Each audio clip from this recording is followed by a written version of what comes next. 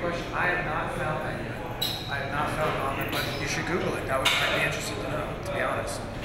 But they have uh, original flavor and chocolate flavored.